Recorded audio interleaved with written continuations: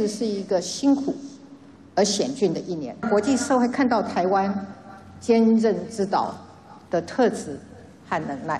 国庆谈话，蔡总统一开头就强调，二零二零是险峻的一年，但也是台湾发光发热的一年。台湾在国际上的面貌越来越清晰，再一次给我们的防疫英雄们满满的感谢，谢谢他们为台湾所做的付出。蔡总统带头向防疫国家队表达满满的谢意，而挺过疫情，经济发展更是重中之重。台湾和美国。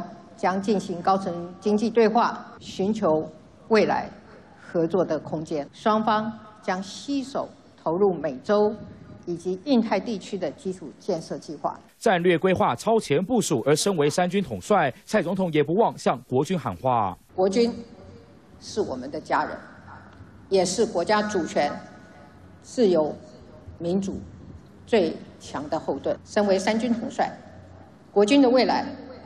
未来的国军，就是我最心心念念的事情。心中无时无刻挂念第一线保家卫国的国军，面对共军不断侵扰，蔡总统也严正重申国防立场：示弱退让不会带来和平，不畏战不求战的原则，精进国防实力，降低。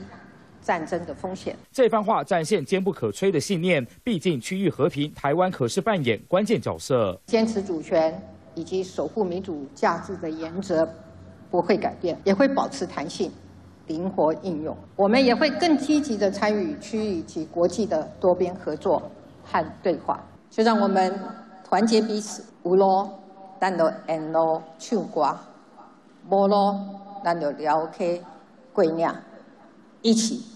朝有光的地方前进。用歌手谢明佑的歌词呼吁国人一定要团结。连任后，蔡总统首次国庆谈话，一共提到六次中华民国，但台湾则高达三十八次，史上最多。演说内容涵盖四大方向，蔡总统展现十足信心，要带领台湾继续往前迈进。三联新闻综合报道。